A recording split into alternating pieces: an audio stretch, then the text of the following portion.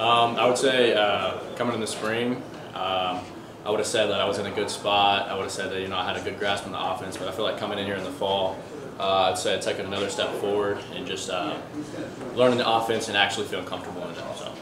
What's your rapport like with uh, Coach Guidugli? Dooley, he's a great guy um, and also a great coach. He's easy to go to with things that are outside of football. But then also, I feel like he's making me a hell of a football player. And um, same with uh, Sam can agree to this too. He feels like you know Gino is you know helping him uh, mature and grow as a quarterback as well. So. What can you learn from a guy like Sam Hartman with his type of experience as you come in? Um, yeah, I would say just like you said, his experience. He's been doing this a long time, and it's easy to go with him, go to him with questions that I have that, you know, maybe stupid questions or questions that uh, could help me on the field. And um, just definitely having someone like that in the room to depend on is, is big. So.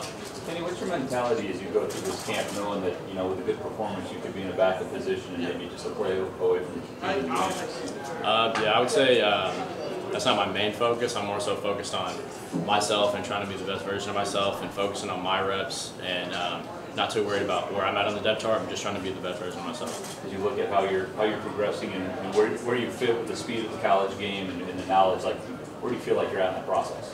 Um, I feel like I kind of accustomed to the speed of the game. That wasn't too big of a change, but um, yeah, speed of the game. I feel like kind of stayed the same after uh, spring ball, and then just growing with the offense and being more comfortable with that has definitely helped. So. What was a day like today like, uh, seeing how lively it was out there? And as Sam and Steve kind of joked, it's nice being in the in the red jersey while everyone else is doing their stuff. Yeah, I know. Like today, third and short, uh, goal line backed up. That's whenever things get hectic, and uh, you know we're going live, so people are hitting. But yeah, being in the red definitely helps. You know, we're not really getting touched, but uh, yeah, it's definitely see. It's fun to see the guys riled up out there. So.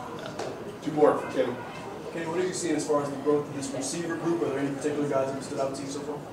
Um, I would say the guys that I rep with, uh, Jordan Faison. He's a uh, he's a walk-on receiver actually, and you know he's been turning heads. I feel like you know he's fast, he's making plays. So yeah, he's one to watch.